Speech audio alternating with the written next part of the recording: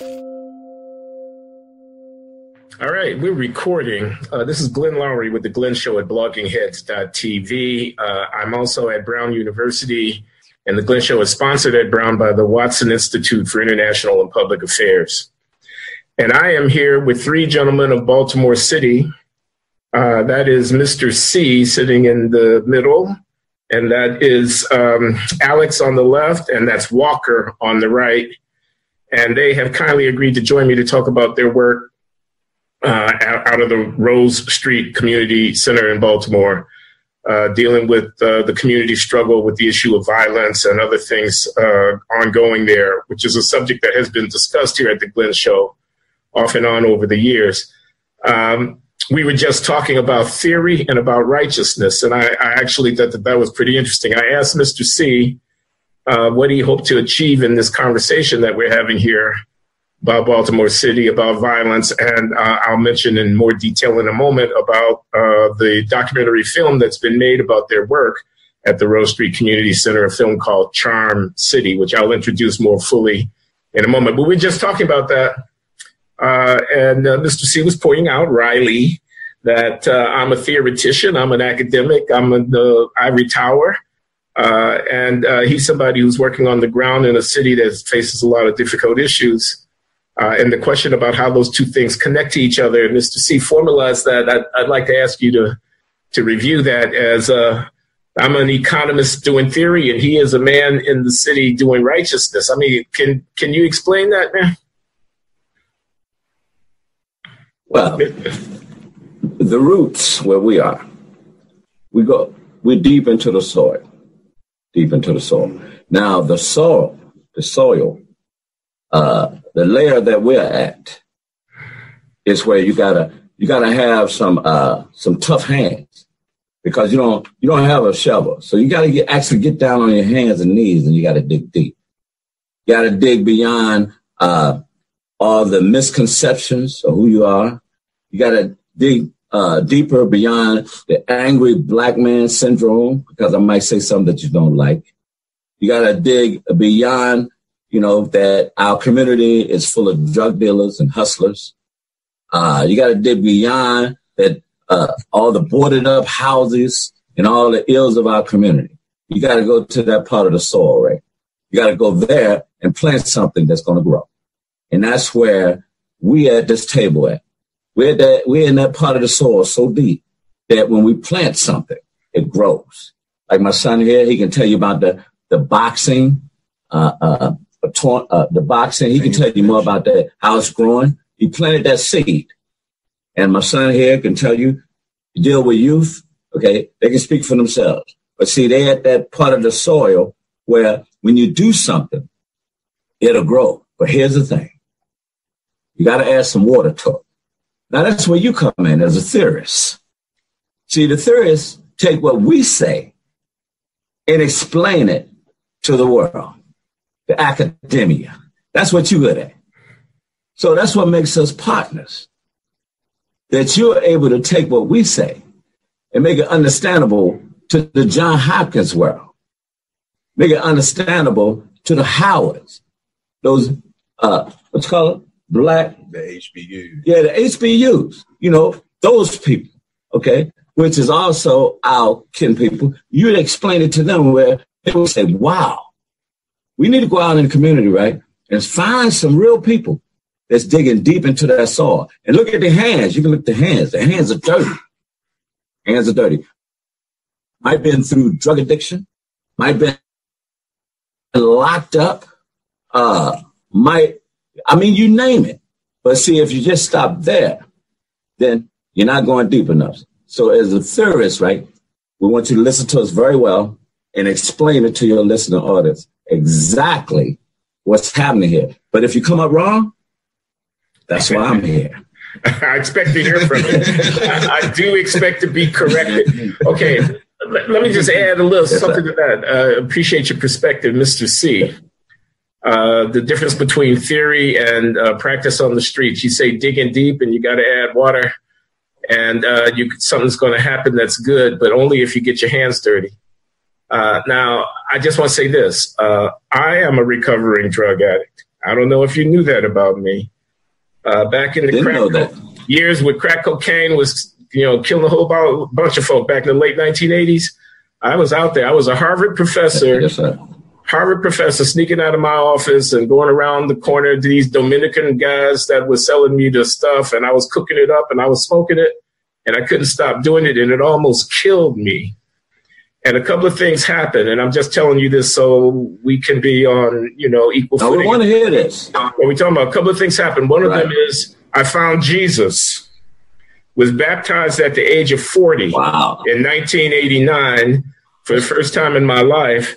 And the other thing that happened was uh, that I got myself into a halfway house and I lived there for six months, riding my bicycle from the halfway house in uh, South Boston up to Harvard University so I could still get my paycheck.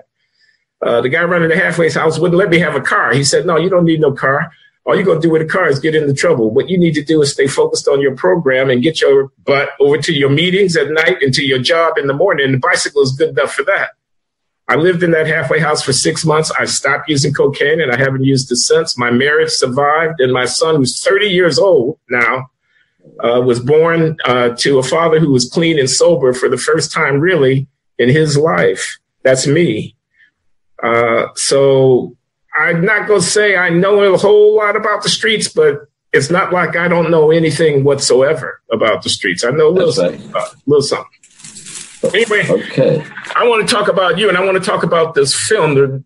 You guys uh, are here at the Glenn Show because of the uh, role that you played in this uh, wonderful documentary film about Baltimore called Charm City. Uh, Charm City, I want everyone to know, is going to premiere on Independent Lens on Monday, the 22nd of April at 10 p.m. You should check your local listings to find out uh, the exact how to find it. But Charm City is uh, at PBS. Uh, it's also going to be simultaneously uh, uh, streamed online at pbs.org, and that's starting on Monday, the 22nd, 10 p.m. Uh, Charm City is a exploration of the work that you guys are doing uh, at the Rose Street Community Center, and also of the role that the police officers are playing in trying to deal with the problem of uh, violence, the serious problem of violence in Baltimore. Uh, and I happened to view a, a preview of the film and was deeply moved uh, by it, and was therefore very grateful when one of the producers contacted me and told me that uh, you might be available to to talk. Charm City is a deep dive, in depth look uh, at the police community relations in Baltimore, at the problem of homicidal violence that's going on with the guys with guns shooting each other, and at the reaction, the positive and constructive reaction that some people, that is you, uh, are engaged in in response to this problem uh, through the Rose Street Community Center, uh, where I gather, Mr. C, that you are the director, and I gather, uh, uh, Alex and Walker, that you guys are are uh, affiliates uh, involved in that work. So uh, I was uh, just setting up the conversation that we're having right now by describing the film and where people can see it when it's finally going to be broadcast. Um, and then wanted to return to talking with you guys about the work that you're doing there. And so I was asking you, the last thing I said was whether or not you would want to describe briefly exactly what the Rose Street Community Center is about. Anybody want to take that one? Well, well, uh, Okay, Walker.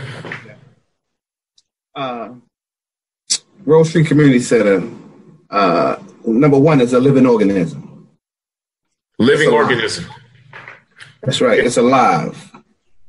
Uh, uh, we talked about change in that film. Also, uh, my son's actual funeral was actually in that film as well, and um, and going through that process of suffering, you know, uh, and just navigating through my emotions, uh, and of course, uh, what actually helped me uh, get through that process, not only the support, but my relationship with my Lord and Savior, Jesus Christ.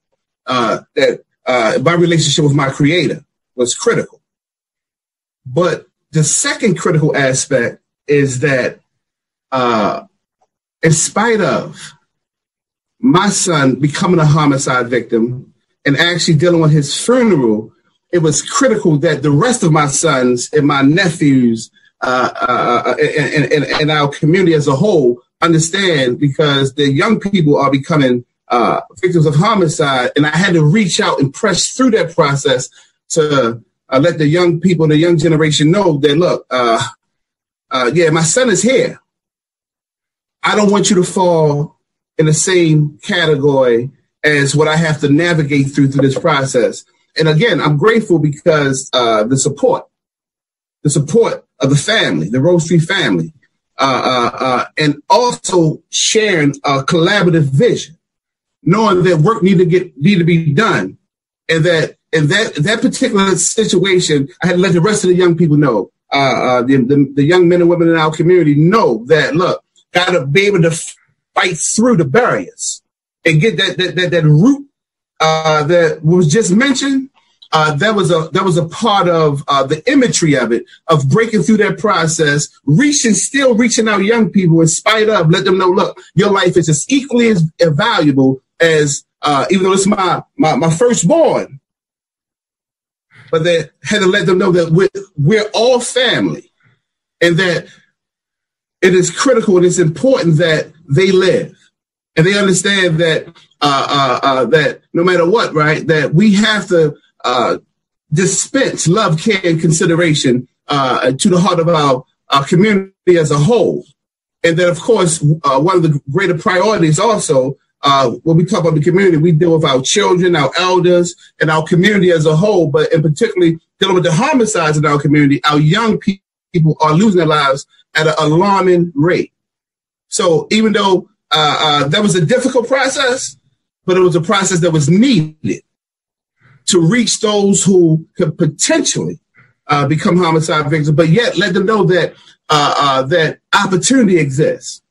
That uh, the true element of it takes a village to raise a family exists. to let them know that you're seeing living practitioners and to see that imagery that exists in our community uh, we ha- have to come alive. And that living organism that I was just speaking about is being practitioners. Because that's exactly what we have to do. We have to live it. This is not about talk. We're in a state of urgency, uh, and we got to do everything in our power in a righteous way to make uh, things happen uh, so that we can uh, uh, improve and we can grow those seeds and that water and that increase that we're talking about is being practitioners in the heart of our community so that we can make things uh, better. You know, if I could just piggyback. Oh, yeah, please, Alex, go ahead. You know, Rose Street Community Center is really the main artery of East Baltimore and Baltimore as a whole. Um, the number one message that we really delivered to everyone we contact and, and, and, getting reach with is unity and, and, really getting back to the sense of family. Um, and I think this would really separate Rose Street from a lot of other community centers. It's more than just what we can do for you. It, it's really about reaching the person and the individual and, and, and trying to figure out ways to make your life and everybody around you life better when they talk about um, placing the seed, Mr. C has been great at this um, for years, about 20 plus years. Hundreds of young men then came out of Baltimore filled with all type of talent and potential that never really believed in themselves. You know, um, and it's not saying anything other than when you come from the dark it, it, it's very hard to see that light. And Mr. C, he constantly shine a light on you to let you know what you have to offer to the world, not only to make your, like say, your life better, but then the people around you lives. Um, like you say, I started a boxing program that I started in my basement. And for months, we never really took any real interest in thinking that it was an actual program or anything like that we was really just having fun with the kids, letting them come together and do what they want. And, you know, every day Mr. C would tell me, son, that's a program.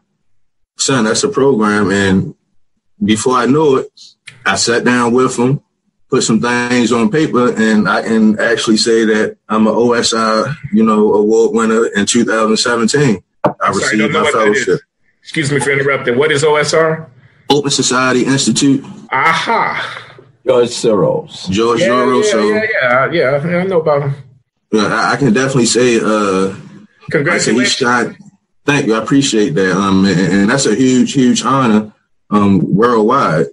And like I said, he he shined that light on me to, to make me realize what I was actually doing and how it actually benefited, you know, the people around me. Um, like Walker say, we both suffered losses um, through the process of this film. I lost my sister.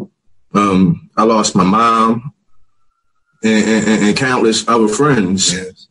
And, and, and co- like so so things been, been kind of real for us out here. Like they were saying, like we we we live in the street. So Rose Street constantly reflect the light on the people in their community so they don't never give up hope.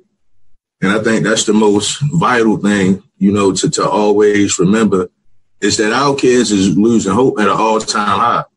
You know, so as long as we can install the idea that it's going to get better, that sparks the change. You know, so this film, people like you, Mr. Seal, I say, yeah, this is what what get us going. You know, so we just gotta keep at it and, and, and make the light shine even bigger. Cause that's the only thing that we face in our communities. Like I say, it's not enough light. Okay. It's good to hear you. It's better to know that you're doing what you're doing because uh, without that kind of uh, effort, I don't know where the hope was going to come from. And that's what I want to ask you about. I want to ask you about politicians. Okay. Mm-hmm. I, I, want to ask you about public policy. I want, I want to ask you about the police, the government, because there's all this talk, all this argument. You see it all the time. Uh, people on TV going back and forth, the conservatives and the liberals, everybody's got their idea about how to fix these problems. Uh, people uh, talking about white supremacy and white racism, talking about racist cops, uh, talking about there aren't any jobs. Then you got other people talking about personal responsibility, talking about black folk need to clean up their act and stop being so violent and stuff like that.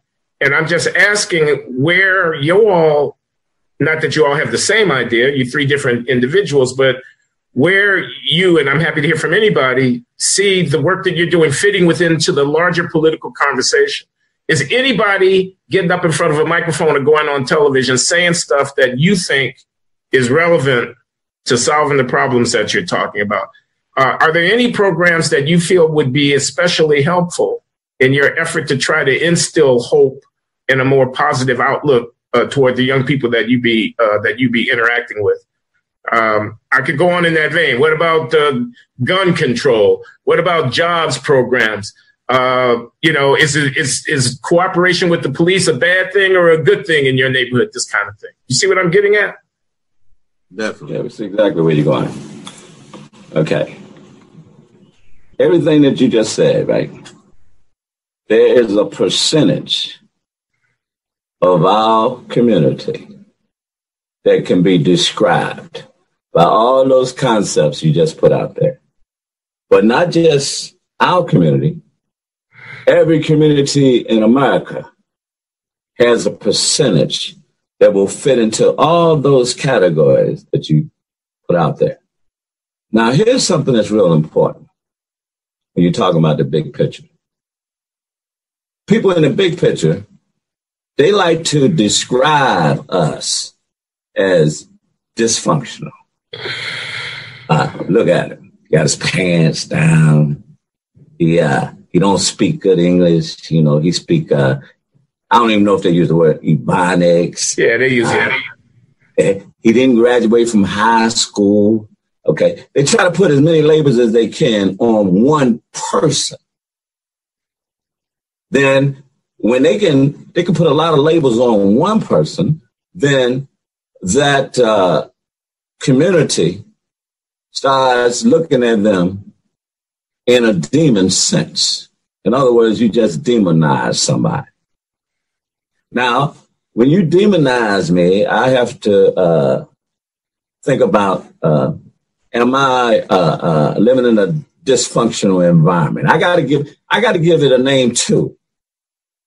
Okay, so I said, okay, I'm gonna start at a point of dysfunction. But guess what?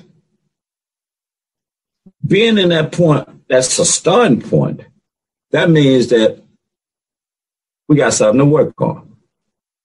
We got something to work on. So don't be embarrassed to tell your story that you used to use drugs because that's going to help somebody. You was dysfunctional at that time. Don't don't be ashamed to tell your story that uh, you was a bank robber because you was dysfunctional at that time. Whatever it is, don't be ashamed to tell your story. Tell your story, but when you tell your story, be able to add a, a, a, a certain amount of hope in there. Now, if you don't have any hope in your story, then I suggest you keep your dysfunctional story to yourself because now you're also being labeled by the community. You'll be, okay. You'll be labeled as a, a, a, a, a lot of words.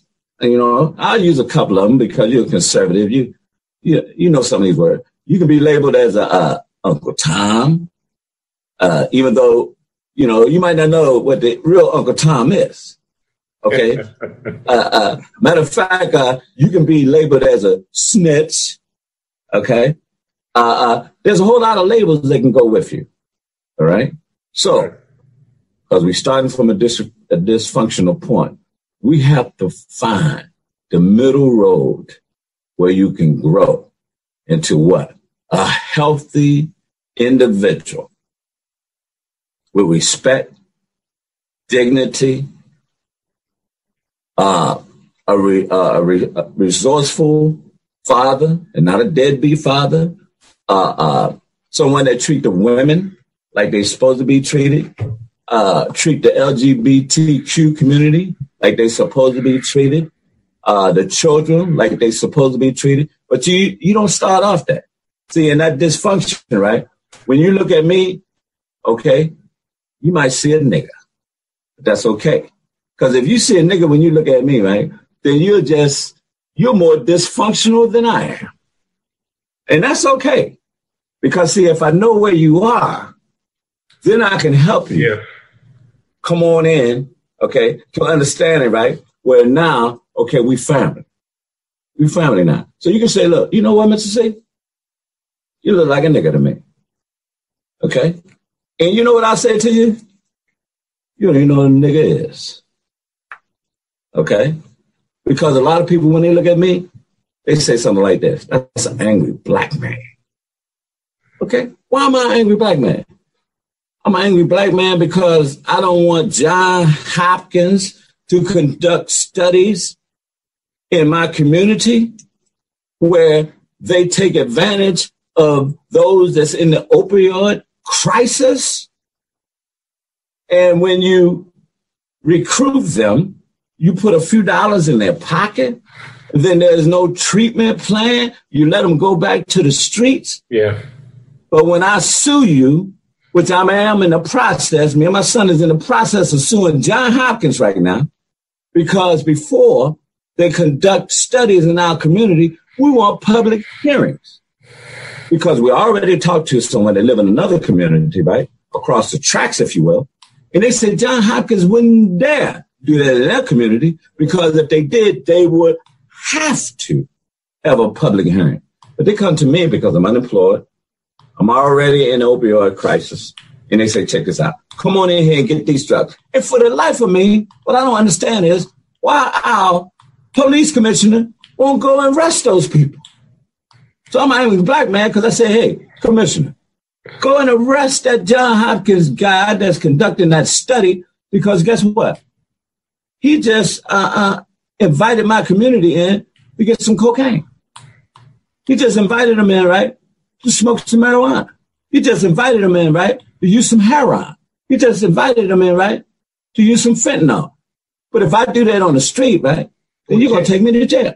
So let me just be clear, uh, since you're talking about this, uh, some research team at Hopkins wanting to examine drug use patterns, recruiting participants in their study from East Baltimore, and uh, in so doing, contributing to the uh, drug use crisis in the city? I mean, I'm, I'm, you, you object. Yeah, yeah, yeah. You just said it.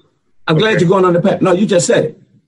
Whenever they recruit, people come in because they might offer like six or seven hundred dollars. That's a lot to somebody that's in the act of addiction. Now you're getting your drugs free because they are conducting a study. I see. And you can check this out before you air this. Now, after the study is complete, you let me loose. You haven't done anything to me yeah, to bring me out of the act of addiction. You haven't okay. offered me lifetime counseling. Uh, you haven't uh, uh, helped me uh, to go. You haven't the resources that you gave me, if any, right, is so minimum that I say, you know what, I'm going to stay in my act of addiction, and that's what's going on right now in Baltimore City in our neighborhoods, and we cannot get a public hearing to say to John Hopkins, check this out. Community, uh, dealing with the approval process. community have to be a part of that decision making process because the community can say, listen, we don't want that research done on the community. So we don't have a chance or an opportunity to even give our voice or advice. We're not guinea pigs. No. Now, where, where are your political representatives who it seems to me should be the people interceding with an institution like Johns Hopkins to make sure that the dignity of his or her constituents is being respected? Who, where our political leaders are. yeah, where, where's your state rep or whatever? Well, some of them on the way with, to the bank with a check from John Hopkins. Some of them used to work for John Hopkins. Some of them have family, family members, right, that are employees with John Hopkins. So where are they? I just told you. Mm-hmm. And they need an investigation about that, just like they're investigating our mayor right now. There needs to be a further investigation. Now, John Hopkins just got their own police force. Own police force. Now, the police uh, force that we got in Baltimore City, right? How come you didn't go to the new commissioner and say to him, let's sit down and let's work together? No.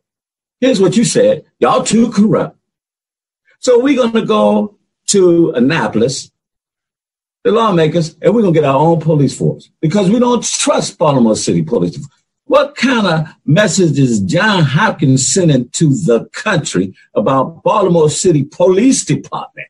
That is that corrupt? Yes, we had a police that right now they can't figure out uh, uh, how did he die in the alley. They still trying to figure out whether he killed himself or no police killed him, uh, whoever. Okay, but if you really think that John Hopkins Police Force, now let me stop right there. Matter of fact, if you Google the police department that John Hopkins has just put in place, in the uh, subject in the bill, you wouldn't even know that it's a police department. That's how shrewd they was in commu- in using community language to hide behind so that they could create a police force at John Hopkins. And you know what's even more? Okay, I'm gonna let you go in a minute. I'm gonna let you talk. All right, go ahead. You got it. Okay, I just gotta make this last point, right? right. And I know you might cut this out. the most, the most powerful congressman in America Okay, and I voted for him, and I'll vote for him again. Elijah Cummings, the one that's talking about the, the, the Trump, and rightfully so, he should be talking about Trump. But he went to Annapolis, right? And you need to check this out. You know what he said to them? I'm begging you to give John Hopkins a police force. Now, here's a powerful congressman who I'm going to vote for again, but the language that he used you haven't even begged for the community to get resources. You haven't even begged for the juvenile detention center to get resources. But just you're going to beg for John Hopkins to get a police force? Come on now. And I'm going to vote for him again because he's a man. But right when he did that, though, oh, that was a big mistake. Well, all politicians are entitled to one. Unfortunately, our uh, mayor made several thousand, but I still got a lot of respect for her too. Okay. But he just made one big one And I'm going to excuse him from that. But if you make another one, I'm going to put my vote somewhere else. All right. Congressman Cummings is on notice.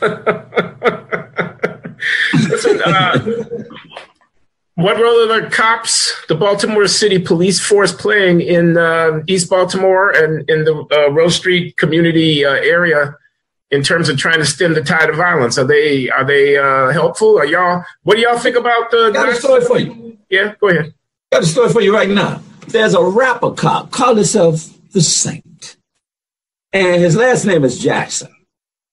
And we've been trying to get a hold to him for a week to come and talk and rap to our young people on Saturday. And he's in the central district. If, if you listening, Saint. Okay. And guess what? Uh, we can't get him. We can't get him. You mean he won't, they want to respond to your call? Huh? He won't answer you. I mean, what do you mean you can't get him? He he won't. Uh... No, he won't. He won't answer us. We can't get him. Maybe you can get him after this, right? His name is uh, uh, Jackson. I didn't mean Johnson. That's Jackson. Jackson is his last name, and he's in the Central District in Baltimore City, and he's a rapper. And he calls himself the Saint, and we can't get him to come give a rap to our youth. Have y'all tried to get him yet? No. Okay, well, I'm here to tell you, right? It's going to be very difficult. I don't know why. So you're talking about police community relationships. Yeah. Why do we have to, in a sense, right, plead with the police department to interact with our community? But guess what? They got this concept where they're locking us up in the morning and they let us go at night. The commissioners say, okay, if they got some recreational weed, lock them up. And the state's attorney say, let them go our state commissioner, no, our state attorney, and our commissioner in Baltimore City, police commissioner, right? They can't even communicate. And these are two powerful law enforcement agencies. So if they can't even agree and communicate with each other, what do you expect us on the street to do? That's where we at right now. Let, let me ask. Baltimore City is a ball of confusion. I, I want to ask a, yeah, another question. It might be it might be a little uncomfortable, but I, I feel like I need to ask it. Well, Alex lost, Alex like lost his sister. Alex lost his sister to the violence. Walker lost his son. I, you have my condolences. I'm very sorry for your loss to the violence. So you all know firsthand about burying people who've been killed, your loved ones who've been killed on the streets of Baltimore. Do you also know about people, who people? Pardon? No, what were you saying? What kind of people? No, I, I said you all know from firsthand experience what it means to be burying somebody that you loved who was killed by people on the streets of Baltimore. That's what I said. I'm basing that on what Walker has said and what Alex has talked about. First-hand experience. First-hand experience. That's what I'm talking about. And now I'm trying to ask you something. Does it go in the other direction? Do you also know firsthand people who have committed homicide? And are you mad at them? Well, you said something about uh, 20 minutes ago, and I hope you haven't forgotten.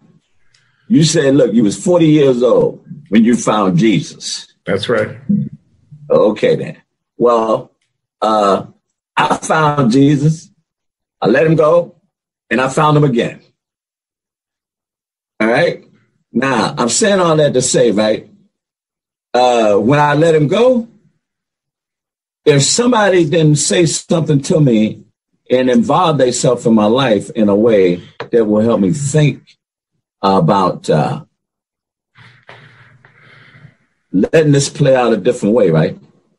Then I wouldn't be sitting here talking to you. So somebody had to reach out to me. Okay. Somebody had to reach out to me and to okay. me. And to you. Yeah. All right. And Jesus led them to me. I truly believe that. Now I'm gonna back up because it's firsthand. Okay. Uh, personally speaking, if you live in any city, I'm pretty sure you could say you know one person that then committed a homicide or attempted a homicide. Um, but once again, these are the situations that we face when we pitted against each other. That's right. We live in a time where there's no such thing as stranger danger. Um, we just lost somebody that almost everybody all over the world considered to be a great individual um, and a young brother, Nipsey Hussle. Mm-hmm. And he was gunned down by a friend, somebody that he bent over backwards for and did everything possible to try to get him on the right path. Unfortunately, when things like this happen, the outrage that the community feels, right or wrong, you see things play out. Um, and I say that me personally, when my sister was killed, she was killed by once again a, a friend, somebody that she she took care of. She she let in her house, let stay with for so on and so forth. So the tensions was high, expectations was high, you know, and if it wasn't for me really sitting back and and knowing that I was entrapping myself, I can't say what I would have done. You know, and I should sit here being 100% honest. If if I knew 100% that the police wasn't watching me, if I knew that I wasn't being, you know, following, so if I haven't literally had officers come up and, and, and, drop hints at where this guy might be, so so that let me know that it was a trap. It, it's no telling what I may have done.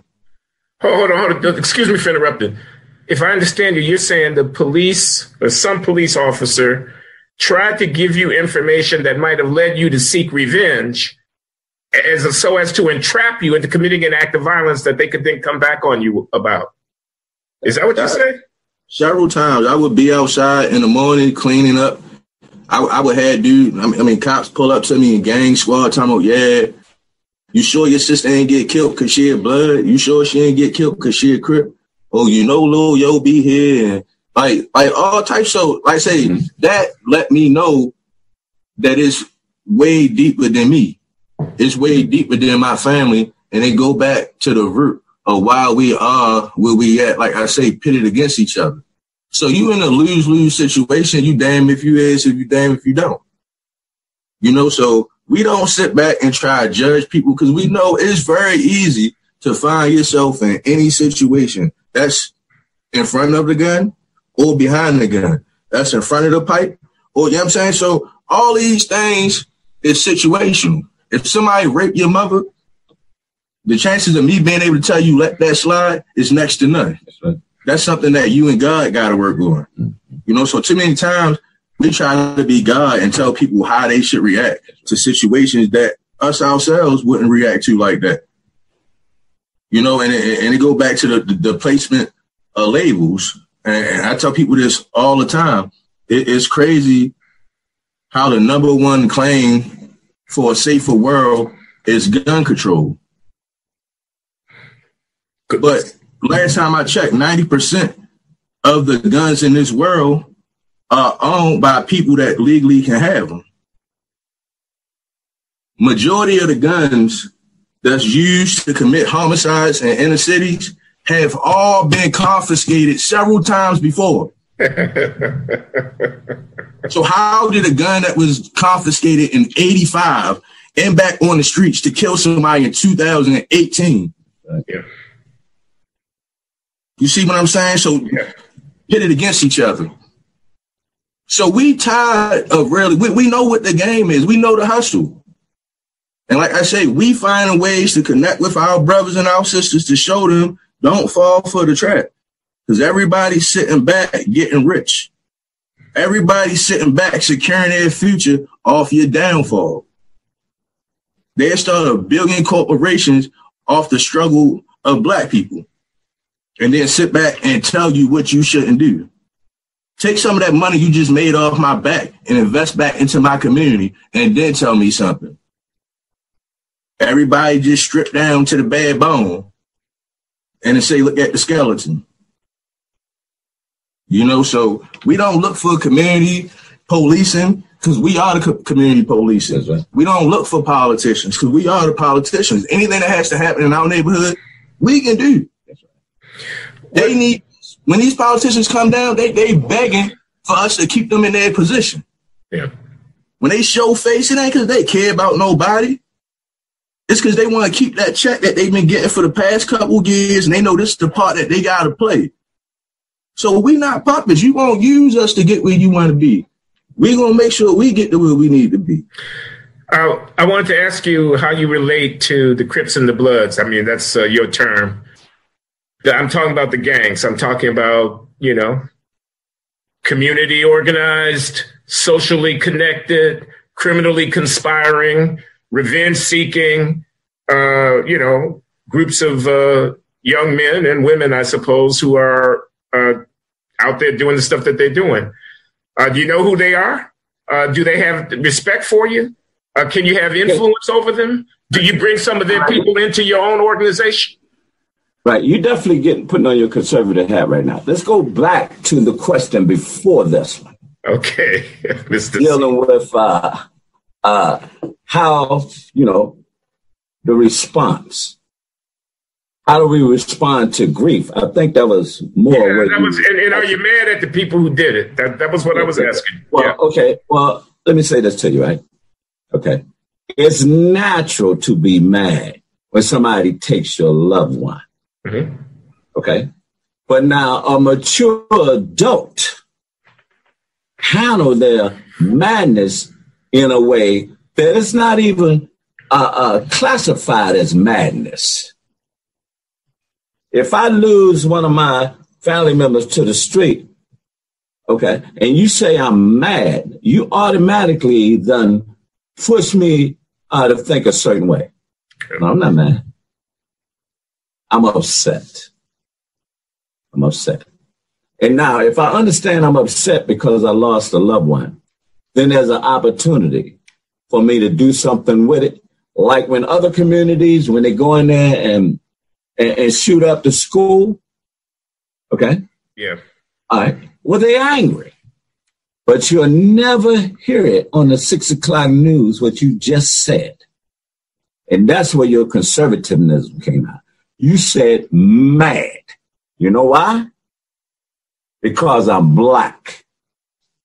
But if I wasn't black, okay, you would have said, you would have used a more gentler word. So you know exactly what you're doing right now. Okay. Let's see, because me and you about the same age, right? We are. See, I'm right. okay. He was upset when he lost his sister. And he was upset when he lost his son. But mad, that's for dogs. Here, this is what I'm getting at. Never mind what word. Never mind the word. Okay. This, this, is what I'm getting at. Let me just say this. Okay. So, so uh, if a rogue cop pull out rogue. You say rogue, rogue, right? Rogue, R O G U E, rogue cop, bad cop. That has nothing to do with his color, though, right? Yeah, that's right. Nothing to do with his color. Pull okay. out his gun and shoot a kid running away unarmed in the back. The community yeah. is going to be up in arms. There's going to be people in the street. There's going to be a demand for justice. They're going to be mobbing in the courthouse and they're going to want that cop's head on a platter because they're mad at the cop for killing that unarmed kid. And what I'm asking, the word mad, but go ahead. Okay, but forget that word. I mean, I'll, let me use another well, word. Use upset. They're upset. They're upset. Okay. okay. But I'm saying they are prepared to publicly express their upset and to demand that something be done with the killer if he's a cop. And the question that I was asking with respect to people who are taking lives of your loved ones in your own community, on your own streets, who happen perhaps to be residents of that very same community. Is yeah. there anything like the same feeling of upset uh, that uh, gets expressed vis-a-vis the people who did that killing? Because if Black, yes. lives, if Black Lives Matter, all of them matter, not just the ones that. Okay, okay, forget Black Lives Matter for a moment. Okay, okay I knew you was going there. Okay, forget Black Lives Matter. I don't have to go there. I'm okay. asking you a direct. Right, right, right. Okay, okay. Here's the thing. Here's the thing, right? Okay, the media has a way. I'm not going to use the fake news like Trump say, but the media has a way of uh, encouraging us, if you will, to express our upsetness in a way that looks like we don't care about our loved ones when something happens. But here's what happened when something happened to our loved ones that you don't see. We get together and we sit down and we talk about it. Not only do we talk about it, we pray about it. Okay. So, and the media is not there. So therefore, the only picture that you see, right, is the one when the road cop shoots someone and we're out in the street. When someone that killed one of our loved ones, right? We don't need to be out in the street like that. We need to be around people that will help us process how we feel. So, and when there's people around that love us and help us process how to go through the trauma that we just went through, here's what you get. Let me tell you what you get. You want me to tell you? Yeah. You get a miracle. You get a miracle that's sitting here before you. That's what happens, right? When we get in small groups and we talk about our trauma to people that care about us. That's what we get. But now, if I'm paying my taxes to you and you done shot my son in the back running away. Okay and you don't use my money to buy your gun, lawyer. I got a problem with that. Your uniform, your police car, okay? Yeah, I got a problem with that, a big problem, because I don't want my money used that way. Okay? So that's when it comes to using my taxpayers' dollars. I know people think I don't pay taxes. Okay? They think all of us don't pay taxes. Okay? So that's why they look at us a little bit different. Well, matter of fact, when they look at us, right, they don't even think taxpayer a lot of times. You know, they don't even think about that. All right. But we pay more taxes in our community than probably you pay in yours. All right. That's right. I, I appreciate your response. Let me ask you, uh, you, you, uh, I remember seeing in Charm City, it struck me, it really did, Mr. C, where okay. you were, you gave a speech where you were trying to teach about snitching and about right. what snitching is. And you were trying to say, if I understood you, to the right. young people, look at if you walking down and you got your brother or your wife right. or your son, and somebody That's come right. along and pop a cap in them and kill them, and you go That's to the cops, you're not snitching. That's not snitching. That's, That's love. That's self-respect. That's okay? right. Can you elaborate on that point? What what is snitching? What kind of cooperation with the police do you uh, do you preach and teach is uh, is a good thing, and and so forth. Well, thank you. Okay, well, see now you know lost the question that I was going to get to about the Bloods and Crips, but it's okay because me and you the same age. Okay, now if me and you rob a bank together, and they sit down with me, they say, "Look here, Mr. C, you're gonna get 40 years." Now, but if you tell on that guy that was with you, okay, we're gonna cut your time in half, 20 years. And I said, well, yeah, that was, uh, yeah, him. He had on blue. Uh, he had on, uh, uh, wingtips. Uh, okay. Yeah. That's snitching. Okay. Because if you can't do the time, don't do the crime. So that's snitching. But if you kill somebody I love and I see you do it, well, here's the thing, right? Sometime in our community, us being an eyewitness is not enough for the police. Our conviction rate as Baltimore City is probably lower than any other place, any other city in America, even with eyewitnesses. So we hesitate about that. So that's why you get okay. other kind of ways to deal with us being upset in the community. Okay, now what about the Crips and the Bloods? I had asked, do you know these guys? Uh, do you uh, how do you re- re- interact with them, and uh, do you try to get some of the people inside your organization and stuff like that? What did you want to say about that? Alex got it. Well, first of all, they're part of the community, and people tend to want to ostracize them and, and, and, and cut them off, and that's why you usually find these be the individuals that'll victimize you because you already don't have no respect for them and you didn't cut off every opportunity that they had at something fair in life. So you become there's something fair. We practice what we preach. We, like I said, we know guys that made mistakes. But anytime an individual wants to better himself, how can you sit back, whoever you are, and tell them, oh, nah, because of your past? Like I said, you, you, you forcing them to continue to live in their past. You know, so we embrace every, we uplift everybody because it's going to take everybody. If you're a crip and there's something going on in your neighborhood, I can't come tell nobody that's a crip what to do because I ain't in that world. You know what I'm saying? Like you would respect me as an individual and as a man, but at, at some point, politics are politics. So you're going to need somebody that's from that world to be able to go back to it and be like, look, we need to chill, we need to fall back, whatever the case may be. You know what I'm saying? Like you can't come down to no city and go on no block and tell nobody nothing about how they operate with everything you didn't accomplish in life.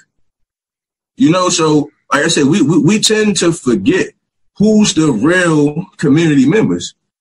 It's so much migrating and and, and, and, really castrating of these communities that everybody sit back and it, it, it's almost like living in California.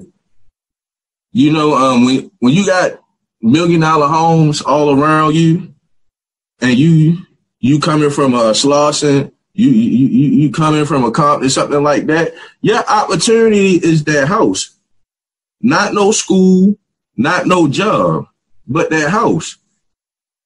Because no matter what you do in life, you'll never be able, you know what I'm saying, in your mind to get what they already achieved. And because they continue to cut you off, they don't want to hire you. They're not going to give you no job to even be they gun or they trash man just to come around and straight. You know what I'm saying? So guess what? When you, I know you on vacation, me and my little homeboys, we gonna run up at your house because you got 80 inch TV. You got about four of them. You got every game system that's out. And me and my family and hood gonna be straight. All for you. I appreciate it. You know, so this so this what happened time and time again when we alienate people. You know, so everybody want to talk about crime and, and this, that, and the third. It's force fed. Any community you go to in America, if they don't want crime to exist, guess what? It won't happen. Can I add something to it? Go ahead. Let me share something. Here. Yeah, please. Um, let, us let's let's you know we dealing with affiliation. affiliation right now. Uh, let's deal with a, another uh, aspect to affiliation for a moment. Okay. Uh, when we deal with affiliation, you know, there's always the negative side of affiliation when it comes to uh, most. Uh, we would deal with our community, but in particularly most Black communities across the face of America. Now, there's another suit that we have in progress right now. That's on the books, and it's dealing with affiliation. Now, media. Let's go back there for a moment. When you deal with the media, uh, for some reason, right, something can happen in Afghanistan. Uh, they can say uh, uh 40 uh, Muslims just been killed, uh, 35 Christians just been assassinated. But when you roll the sheet back into our community, right? They, they, they, you know, so right now they're talking about uh, solutions. What can take place? Look how horrific this was. Uh, uh, what kind of ideas and, and uh, uh, uh, solutions that we can come up with to help those and the families that are suffering in other countries outside of America. Let's come on back home for a moment. Now, in our community, uh, when it deals with affiliation, they always associate it with Bloods, Crips, BGF. Uh, and then they, they, they will. So, but lately, I haven't really been listening to uh, uh, media, in particular, you know, WJZ or other uh, media speak about those actual uh, uh, affiliations as they were before previously.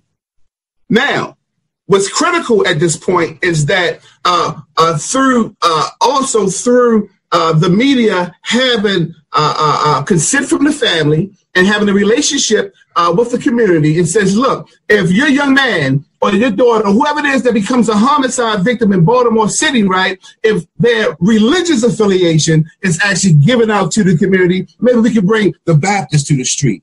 Uh, maybe we could bring the Muslims to the street. Uh, maybe we could bring the Seventh day Adventists to the street. Because those aspects of affiliations, right, from a positive and a very therapeutic process, is not being driven through the veins of the media so that we can understand the principle of uh, bringing more solutions to the streets. So uh, uh, at this point, I think it's critical. Uh, when we deal with affiliation, whether it's Blood Crips, BGF, uh, that negative side, the newspapers and the, and the media says, look, uh, look at all this negativity. But what we're asking them at this point right now, right? Uh, now we're saying uh, uh, media, in particular WJZ, right?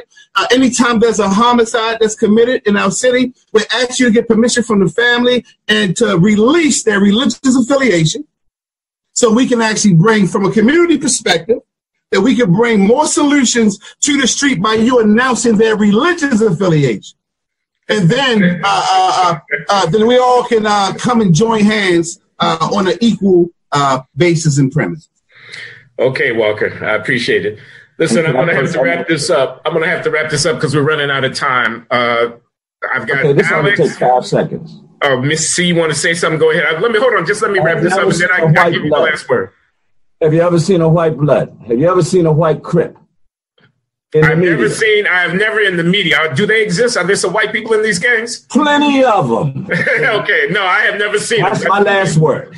All right, that's that's good enough. We got Asian Crips. That's just us. all right, all right. I got Alex. I got Mr. C. I got Walker. Uh, they're from the Rose Street Community Center and from East Baltimore. They've been kind enough to come in and express themselves, I think, very eloquently and forcefully on their perspective on what's going on in their community and what's going on in this country. I'm Glenn Loury at the Glenn Show, and all I can do is say thank you to my guests for coming on. Uh, remind you that Charm City, the documentary film that uh, depicts the work of the Rose Street Community Center, is going to air uh, for the first time on PBS 10 p.m. on Monday, April 22nd. So thanks to you guys for coming in and giving me some of your time. I really appreciate it. And thank you. Thank you so much. Thank you very much. Appreciate it. All right. So I'm going to stop the tape.